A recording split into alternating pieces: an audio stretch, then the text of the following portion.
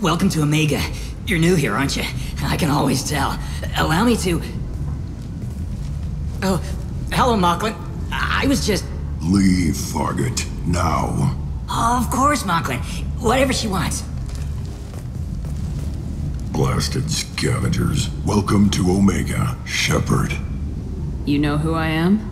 Of course. We had you tagged the moment you entered the Terminus systems. You're not as subtle as you think. Aria wants to know what brings a dead Spectre to Omega. I suggest you go to Afterlife now and present yourself. I'll talk to your boss when I'm damn well ready.